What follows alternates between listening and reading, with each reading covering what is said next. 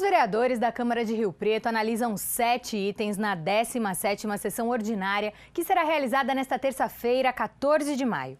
Em segunda discussão e com emendas, será discutido e votado o projeto de lei complementar que cria três cargos de coordenador pedagógico e oito cargos de professor de educação básica 1 ambos com carga horária de 40 horas semanais, e altera o valor do auxílio transporte dos supervisores de ensino.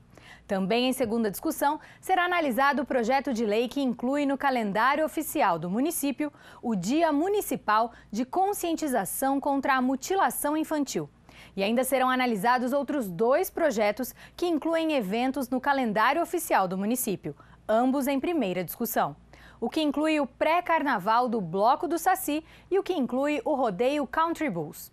Em seguida, o projeto que dispõe sobre a liberação de espaço para a construção de ponto de ônibus com cobertura e iluminação por empresas em Rio Preto terá legalidade analisada.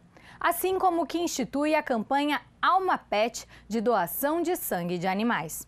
Encerrando a pauta está o projeto de resolução que disciplina a criação da Frente Parlamentar.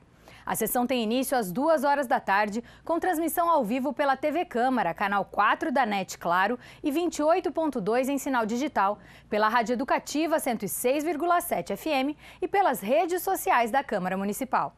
Maria Estela Calças para a TV Câmara, o canal do Legislativo.